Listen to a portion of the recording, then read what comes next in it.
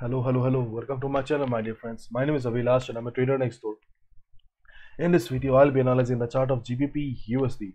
So if you're watching my videos for the first time, then please subscribe to my channel for regular market analysis. my dear friends, I'm not well. Uh, that's why my energy is very low today. Probably you have already guessed that I am low in energy.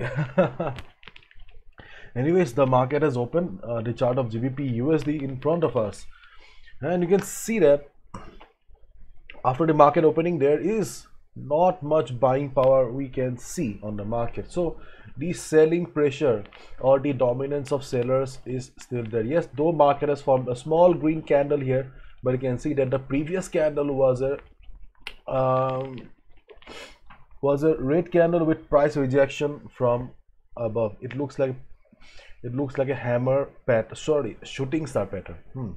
So selling pressure is still there on the chart of GBP USD okay?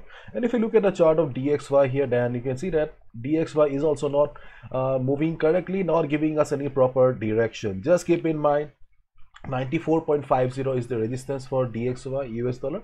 If it reverses then well and good. If you want a detailed analysis of G, uh, the GBP USD please watch the video that I uploaded on Saturday okay? So today I'll be just telling you after the market opening what should be a strategy and and as the chart has not changed much so your strategy still remains the same. Okay so if market goes up from here if you're looking for the safest trading opportunity then if market goes up from here and reverses from this trend line you can take a sell position at the trend line. Okay this is your safest trading opportunity. On the other hand if market comes down and bounces from the support level of 1.3410 you can also take a buy position from this level. This can be a, also a very safe trading opportunity for you. But as you can see that right now the trend of the market is towards the downside. So do not expect a huge uptrend if you take a buy position at the support level here. What you can do is that you can exit after 50 pips 40 pips. That huh, that is also well and good.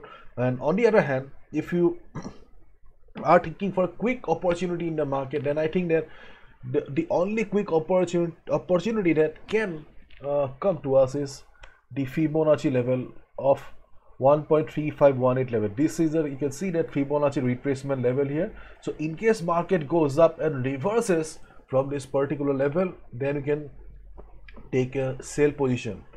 And why i'm telling about sell? Because the trend of the market is towards the downside and as we all know trend is the most important thing in the market. So as a result you can take a sell position if market goes up and reverses from 1.3518 1.3518 level. Okay. So these are the trading opportunities that i see on the chart of gbp usd right now. So if you're looking for a safe trading opportunities then if market goes up and reverses from this trend line you can take a sell position. If market goes down and bounces from this uh, support of 1.3410 you can take a buy position. And on the other hand